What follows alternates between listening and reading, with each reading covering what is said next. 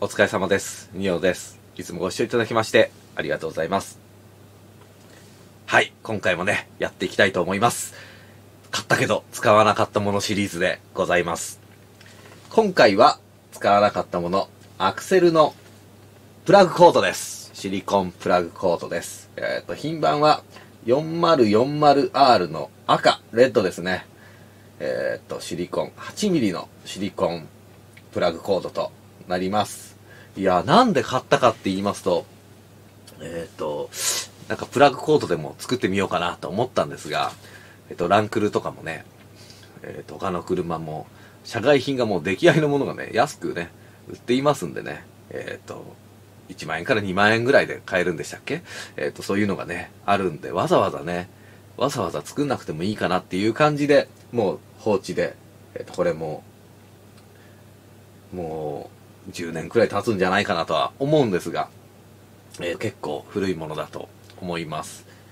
えーっと、まあ、買ったけど使わないもので言うと、えーっと、プラグコードがもう一個あるんですが、それは使わないコーナーにも一応出しますけど、今度、今度ですね、えっと、取り付けてみようかなとも思うんですが、えっと、純正のプラグコードで、新品でね、交換してしまったので、えーっと、だからわざわざね、社外品の入れる必要ないかなと思っちゃって、それもね、使わないである感じになります。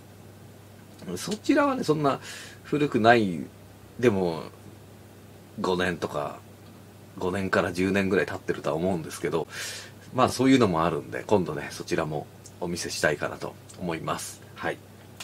えっと、なんでね、使わなくなったっていうと、ヘッドオーバーホールした時に、の、ヘッドオーバーホールした後に、プラグコード買う時に、あ、純正の方がいいかなと思ってね、FZJ80G、えー 1FZ のエンジンですが、えっと、純正の新品をね、入れてしまいましたので、高かったですが、まあ、わざわざ社外にする必要ねえんじゃねえかということでね、社外にはしてないんですが、まあ、それがね、えーっと、ダメになったら、交換しようかなと思うんですが、まあ、その時にね、買えばいいわけで、えーっと、本当はですね、そちらを入れようと思ったんですけど、あ、社外品どうなのかな、なんてね、思いながら、思いながらですよ。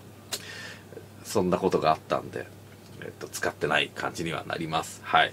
えっと、時間があれば、一回ぐらいはね、つけてみようかなと思っておりますけど、えっと、インジェクションのね、車なので、まあ、純正の点火システムで問題があるわけでもなくね、えっと、ほぼノーマルなんでね、マフラーとエアクリーナーぐらいじゃね、えー、まあ、純正のが絶縁不良起こってない限り、純正のがいいんじゃないかなとは思うんで、えっ、と、とりあえず純正を入れてある感じでございます。はい。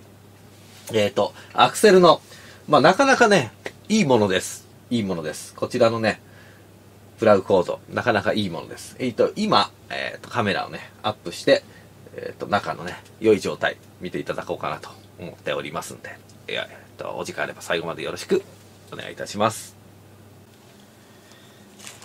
はい、こちらが、アクセル、プラグコードとなります。えー箱はね、ちょっとね、保管の時に、保管の時に、えっ、と、潰れてしまいましたが、えーなかなかね、かっこいいですよ、中開けると。えっ、と、こんな感じになってます。えっ、と、アッ。中の、えっ、と、シールドの状態は、こんな感じみたいですね。えっ、と、新品ですが、一回、えっ、と、どんな絶縁かどうかね、少し向いてみたことはあるんですよ。はい。こんな感じでなってます。えーっとね、使えばいいんですけどね。えっと、とりあえず、えっと、中をね、紹介していきます。まあ、こういうので、ね、紹介してると自分もね、嬉しいんですよね。中が見れるんで。まあ、こういうことでもない限り。開けることないんでね。はい。えーっと、もう何も入ってないです。えーっと、こんな感じです。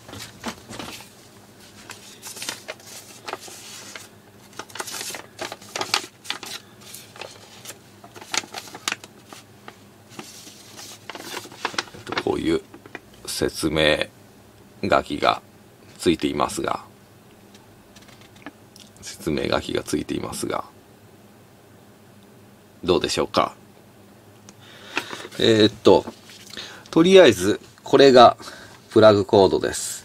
えー、っと、一回ね、少しだけ、どんな絶縁になってんだと思って、私がこれ、剥いたものです。はい。ちょびっとだけね、15ミリぐらい切ってみました。えー、っとね、あとは、6気筒用で、6気筒用ですね。6気筒にセンターコードが1本。ということになりますね。はい。えー、っと、まあ、大したもんじゃないですよね。プラグコードなんつったってね、こんなもんね。ただの線ですからね。うーん。久しぶりに見たな。買った時に一回こう開けてみただけで。えっ、と、こちらが、付属の方の、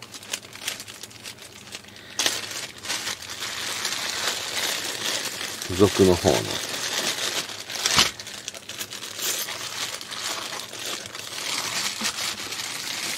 端子となります。6気筒用なので、えっ、ー、と、全部ついてあって、えっ、ー、と、プラグコードのクリップ。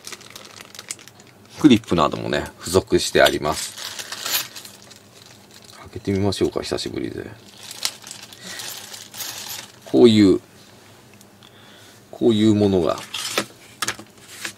こういうものがね、付属してます。こういう感じのものがね、付属されてます。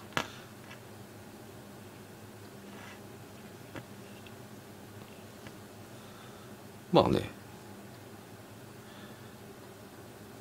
何も変哲も、変哲もない、プラグコードになると思うんですが、まあ、こんな感じです。で、それで、使いもしねえのに、使いもしねえのにですよ。追加で買ったものがあるんですよ。これはね、使いもしないのにね、なんで、何、何用にしようとしたんだろう。なんかね、えっ、ー、と、端子の形状を違う車用にしようとしたのか、そんなの持ってないのにこれを追加で買ってるんですよね。もうなんかね、記憶がわかんないんですよね。もう、何用なんだろう っていうぐらいなんですけど、何用なんだろうこれ。これを追加で買ってあります。意味がわかりませんが、1、2、3、4、5、6、7、8、8個半じゃないのね。ん？ちょっと待てよ。2、1、2、3、4、5、6、7、8個なぜでしょう?発気筒用か。発気筒用のセットで売ってただけか。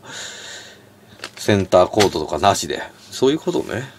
7気筒なんてないもんね。そうだよね。はい。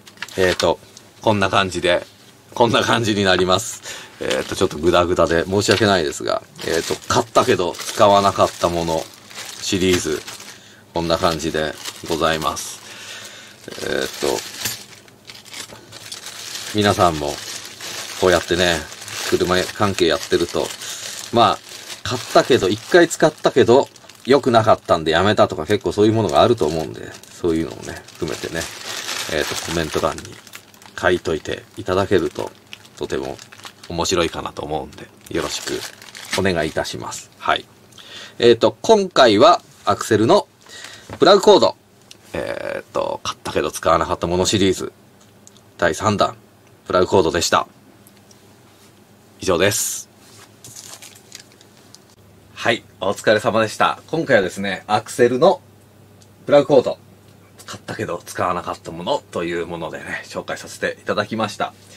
えっ、ー、と、もう一個のプラグ、さっき、えっ、ー、と、最初に言ってたものですが、それは、え、ー、と、家にないんで、倉庫の方に持ってってあるんで、えっ、と、持ってきたら紹介させていただきたいかなと思います。はい。えっと、それではね、今回はこれで以上となります。ご視聴いただきまして、ありがとうございました。